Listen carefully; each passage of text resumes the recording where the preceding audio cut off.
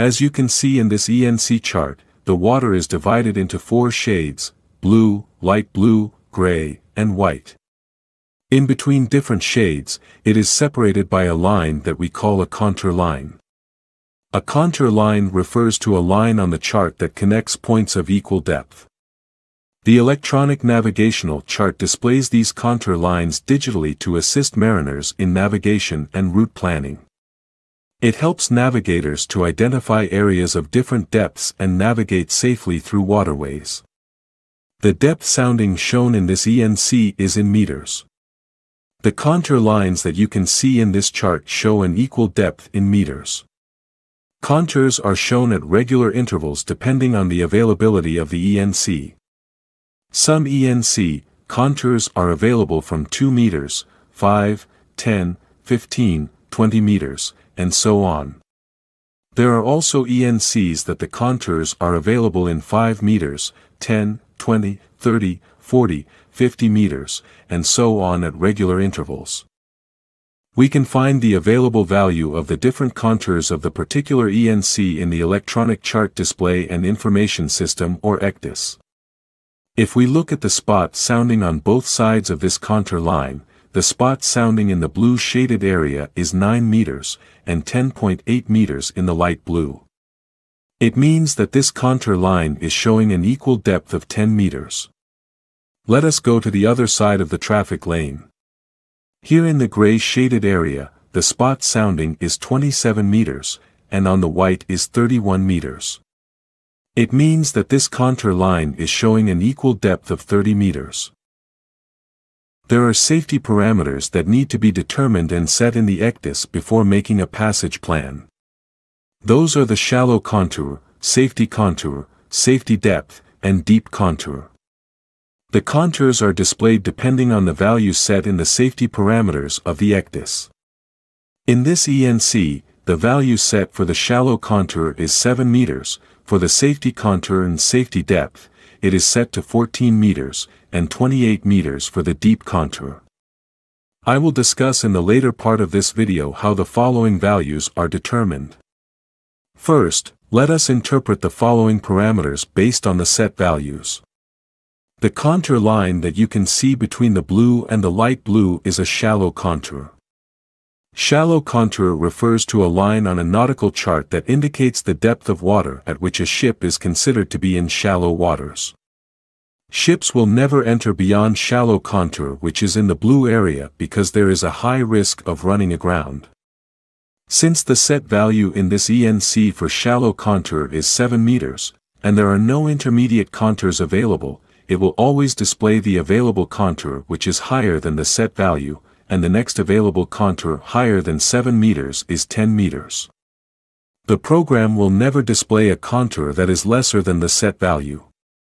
For example, if we set the value of shallow contour to 11 meters, if the available contours are 10 and 20 meters, a 20 meter contour will be displayed, not the nearest contour which is 10 meters.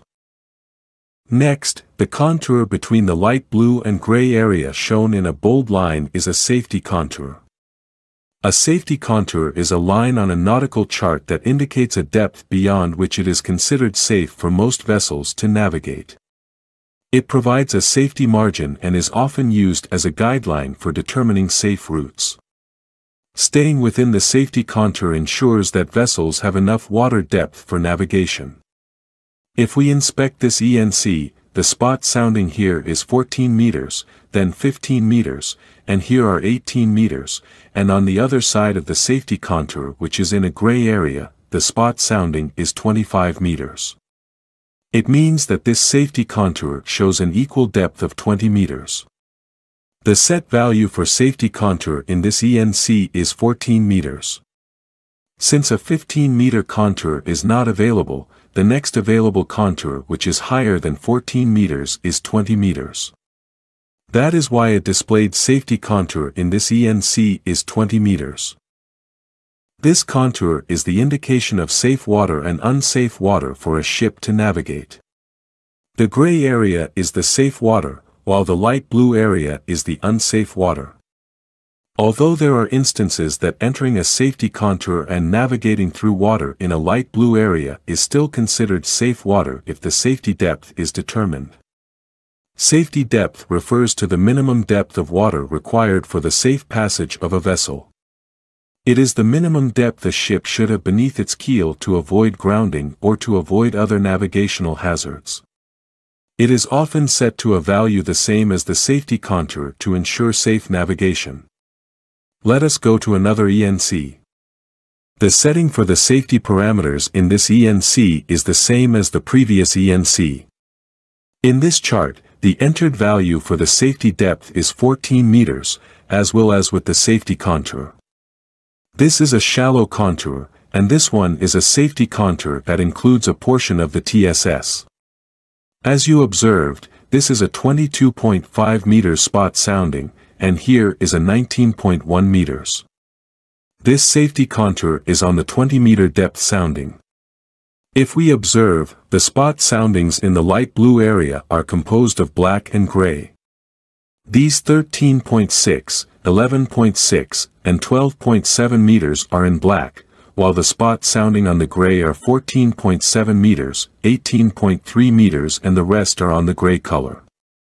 All spot soundings with a value the same as safety depth and lesser will be in black. It means that all spot soundings in 14.0 meters and less are in black and it indicates unsafe water. Ships should not pass a spot sounding of 14 meters or less. On the other hand, a gray spot indicates safe water in which the ship can safely navigate in this area. The basis for the safe and unsafe water is the set value in the safety depth which in this ENC is 14 meters. So if you are making a passage plan and you will be transiting along this TSS, even though you are crossing this safety contour, your ship will have a safe passage since the set safety depth is 14 meters, which is the minimum depth of water in which the vessel can safely navigate. If we look at the spot sounding along the traffic lane within the safety contour in a light blue shade, it is 19.5 meters, 19.1 meters, and 17.7 meters which is higher than 14 meters, the set value in the safety depth. Next, I will show you how to determine the following safety parameters. This is the procedure used in my previous company, this may differ from your company procedures. This video serves only as your reference or guide, always refer to your company policies on how to determine the safety parameters. Here it's stated that settings may be changed at master's discretion on specific sections of passage, such as when it is necessary to keep the vessel outside a specific contour. Then the settings are not intended to be fixed for the entire voyage. And here are the procedures how to determine the following safety parameters. For the safety contour and safety depth, it has the same value. Let us deal first with the safety depth. To find the safety depth, we have the vessel's dynamic draft, plus 10% of the maximum static draft or 1 meter whichever is greater, plus the CATZOC depth inaccuracy, minus the height of tide if applicable. We have two different aspects of a ship's draft, the static draft and the dynamic draft. Static draft refers to the draft of a ship when it is stationary, at rest in the water, or dead in the water. Dynamic draft on the other hand, takes into account the dynamic effects on the draft of a ship when it is in motion. It includes factors such as the influence of waves, ship speed, squat, and the ship's response to sea conditions. These drafts are based on when the ship is floating in salt water. As per company policy, dynamic draft is equal to maximum static draft, plus ship squat, plus heel or roll, plus sea or swell, and plus pitch. Let us assume that the ship's static draft forward is 6.0 meters and the aft draft is 6.60 meters. So the maximum static draft is 6.60 meters. For the squat, I have made a separate video for this, kindly check the link in the description. For now, let us assume that the ship squat is 1.20 meters. For the heel, swell and pitch, it will depend on the sea conditions and it may vary if your ship is in open or confined water. Let us assume that for the heel, it is 1.0 meter, for the swell 0.5 meter, and for the pitch is 0.5 meter also. If we add the following value, the ship's dynamic draft is 9.80 meters. Next, to find the 10% of the maximum static draft, we will multiply 6.60 meters by 0.10, and it is equal to 0.66 meters. But it is stated here that 10% of the static draft or 1 meter whichever is greater. So we will take the 1 meter since it has a greater value. Next is the CATZOC depth inaccuracy, which is composed of different categories, those are category A1, A2, B, C, D, and U. If you are not familiar with CATZOC, I made a separate video about this, kindly check the link in the description. Let us assume that for a selected depth of water, the CATZOC depth inaccuracy is 2.0 meters. For the height of tide, let us leave this value 0, we will assume that we will be passing during the lowest astronomical tide. If we add the following values, the sum is 12.80 meters, so our safety contour is 13 meters.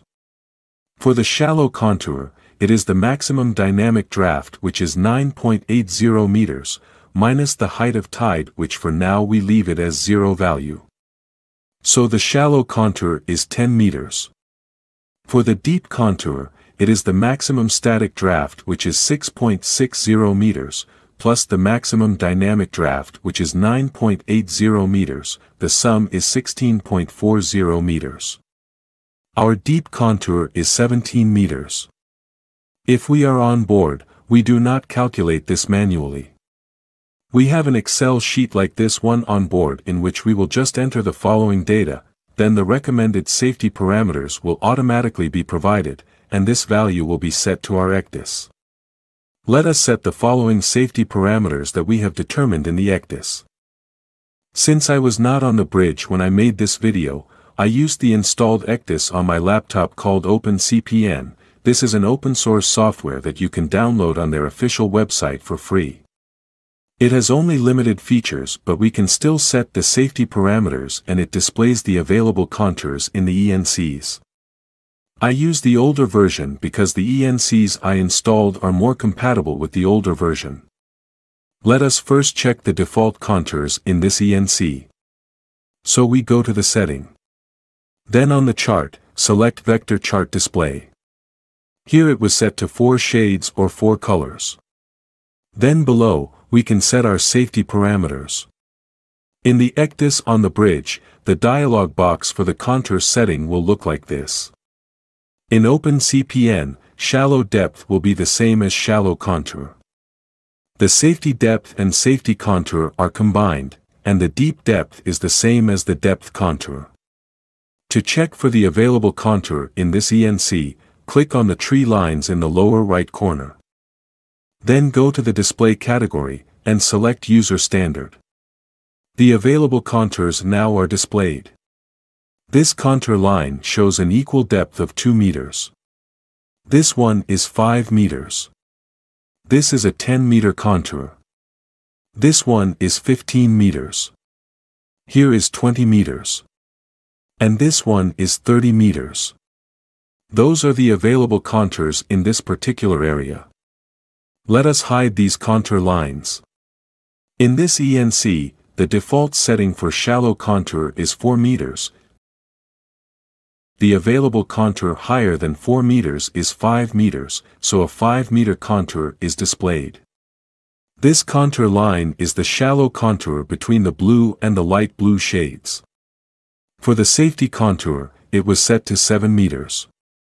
In this ENC, the available contour higher than 7 meters is 10 meters.